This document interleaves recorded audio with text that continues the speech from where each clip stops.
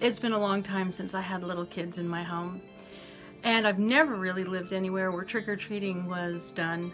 Um, I, always too rural, on the end of a road no one drives down. Trick-or-treating usually was something we had to get in the car and go somewhere else to do when my kids were small. Even when I was a child, that's kind of what we ended up needing to do. So Halloween is usually relegated to decorating up the house and buying a bunch of candy that then we sit down and eat as we watch movies. This year I decided to change things up a little bit. I decided to do a little masquerade themed Halloween. My dolls, the big ones, have masks. I haven't made masks for the little ones, but I may still. There's time before now and Halloween. Nothing like a simple mask to make you feel like you're in the spirit without expending tons of energy on a costume that you may not get to wear. So this year is all about masks and a few little ball gowns inspired by historical masquerade balls. I look forward to sharing with you some of the little pieces of technique I used. For the most part, since I've already shown how to make the Little Red Riding Hood dress earlier, I will just show pieces of I will just show pieces of the dresses behind. It's a lot of applique, it's a lot of machine embroidery, but there's fun appliques out there that you can purchase that can replicate the same idea. Purchased lace can be trimmed and cut and attached to dresses in the same manner. But the best fun is to make a mask. And while my mask is made with thread and organza, it could be so easily made with any kind of other construction materials. You could make a fabric mask and have raw edges. You could use paints. You can put beads. I may actually put beads on this one before I'm done.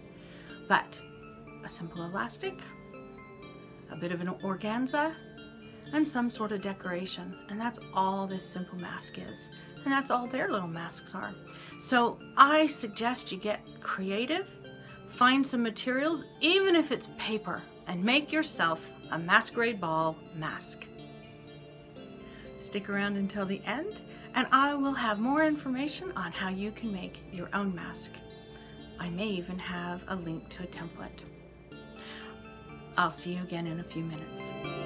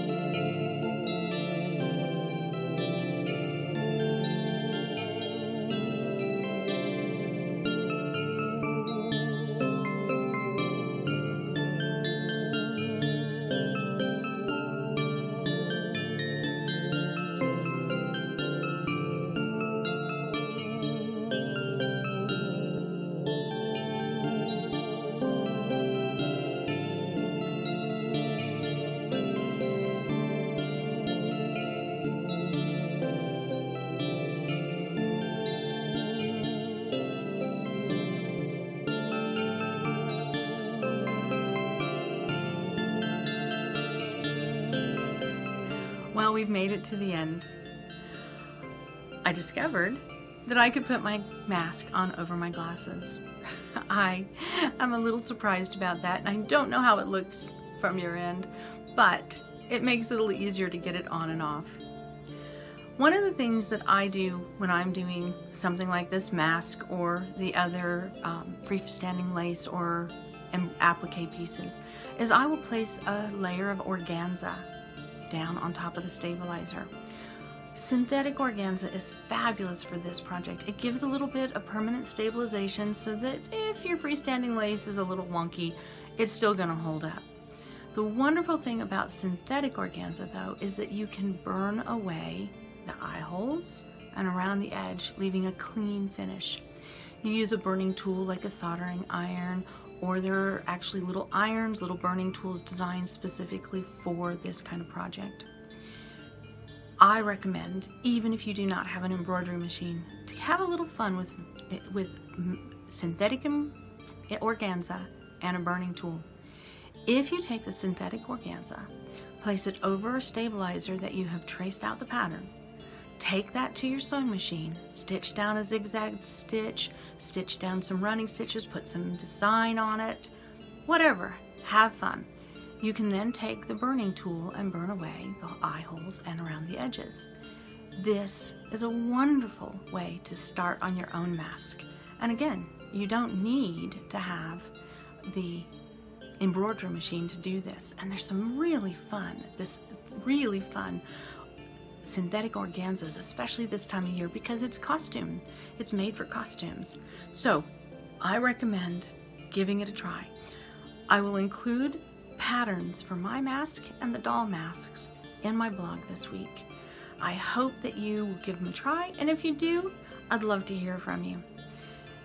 Either way, I hope you've enjoyed another Unwinding with Fiber and Fabrics, and I hope you have a wonderful, wonderful Halloween season.